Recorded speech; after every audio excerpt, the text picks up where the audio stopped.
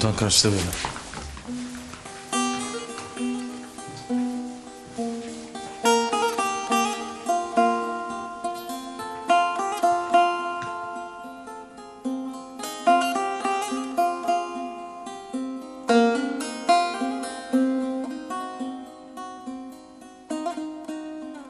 İyi misiniz çocuklar? Daha da iyi olmuştuk komutanım. Ben de. Ama sabırlı olmamız lazım. Gece gider miyiz komutanım? Böyle bir soruya daha önce cevap almış mıydın Sait?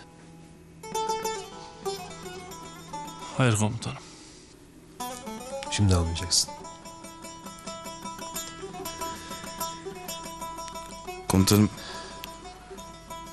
Ya bizim hepimizin aklına geliyor da... Yani kötü şeyler olabilir Durali Başçavuş'a. Birbirinizi gaza getirmeyin beyler. Sakin olun. Sakin olun. Ve olabildiğince dinlenmeye çalışın. Komutan ne yazdığımı sormadınız. Hep sorardınız. O- yüzden. Peki soruyorum Muharrem. Ne yazdın? Şiir yazdım komutan. Okuyacak mısın peki? Emrederseniz okurum. Oku hadi. Muharrem. Bizi okuduğun gibi oku ha. Aynen öyle oku.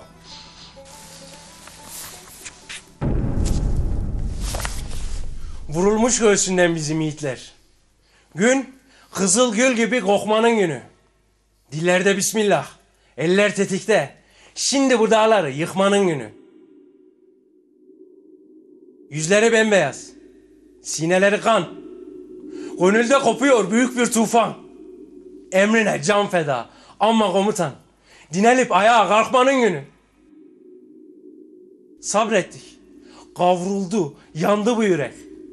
Alıp al bayrağı kaldırmak gerek. Aslanı çakala boğdurmuş felek. Çakalı inine tıkmanın günü. Burada derde kardık. Saat be saat. Vatanı emanet bırakmış ecdat.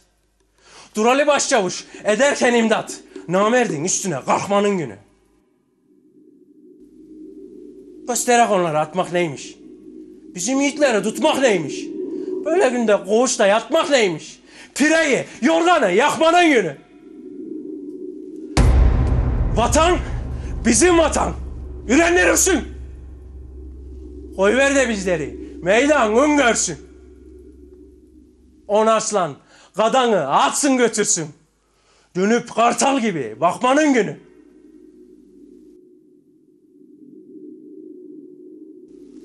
Muharrem takvime atmış bir çizik. Komutan esir kalmış. Yazık mı yazık. Cehennemi elde eyleyip kazık. Değilsin beynine çakmanın günü.